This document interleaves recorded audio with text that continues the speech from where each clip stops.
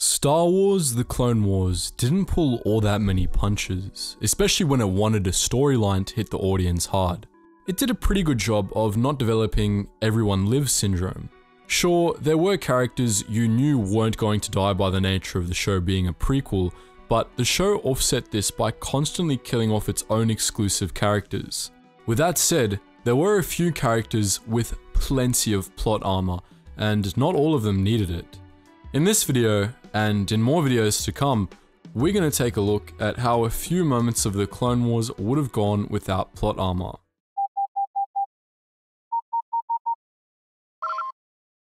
Attention, Sergeant on deck!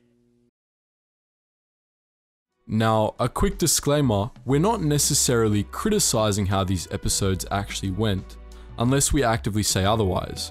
Plot armor in general is not unforgivable, it's just bad in excess and, furthermore, it's fun to imagine how stories would go without it. So without further ado, let's dive right into it. Let's start with one of the show's best episodes, Rookies. As I'm sure you all know, that episode introduced Fives, Echo, and Hevy as they worked with Captain Rex and Commander Cody to retake the Rishi outpost and appraise the Republic of General Grievous's plan to take Kamino. Now, this episode involved less plot armor and more plot nerfing, which is basically the opposite for antagonists. Plot nerfing was frequently applied to B1 battle droids, to such an extent that their extreme stupidity almost breaks the show's suspension of disbelief. It would take a full year to list all the examples of that, and so today, we're just going to look at one, albeit one of the most egregious. It's hard to forget how Rookies ended. Hevy made a desperate last stand trying to keep droids from swarming into the outpost's command center where the clones rigged a bomb to destroy the place. He got shot in the back as he retreated inside, but he nonetheless crawled over the detonator, pressed the button, and successfully destroyed the Rishi outpost, alerting the Republic to an attack at the cost of his life. But as some of you may remember, the CIS could have easily prevented this. Grievous's battle droids retook the control center before Hevy blew the place to hell, and they watched him crawl over to the detonator. One droid asked if they took prisoners, then they silently settled on no, pointed their blasters at Hevy, and did absolutely nothing while he choked out one last line and pressed the button. This is rather absurd. Without plot armor or nerfing, these droids would have just pumped Hevy full of bolts before he could get to the button, just like they did with Sergeant O'Niner earlier in the episode. There's just no way Hevy should have been able to succeed there.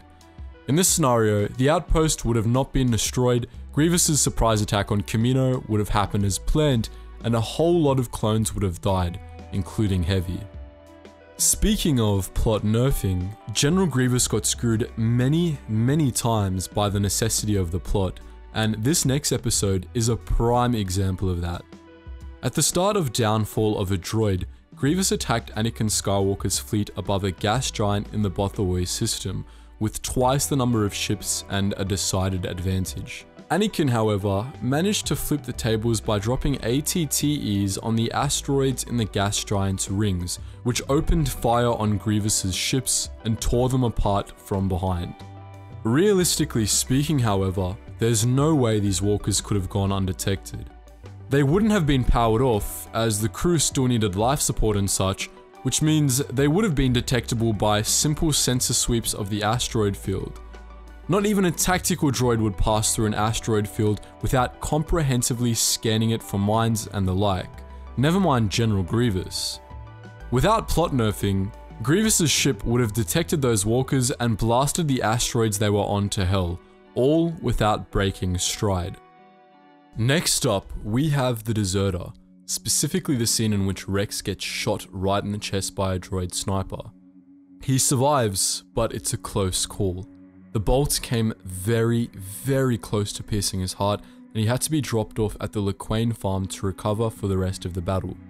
Rex's condition quickly improved, and after what looks like a few hours of bed rest, he's back on his feet and ready to kill some droids. We shouldn't even need to tell you that this is unrealistic. First of all, those droids shouldn't have missed. They're machines with built-in targeting computers, and Rex was coming at them on a straight line.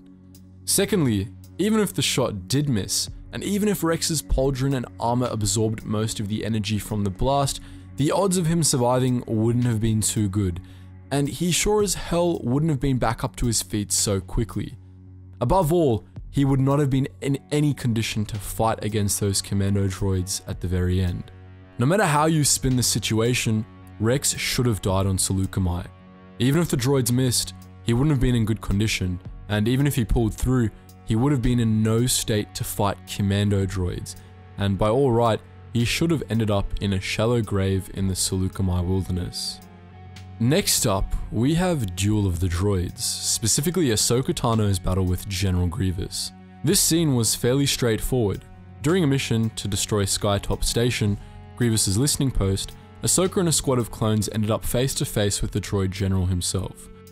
Grievous killed all of the unnamed clones, but Ahsoka, Rex, and clone trooper Denal all escaped, and Grievous went after Ahsoka, who ultimately managed to escape him for good.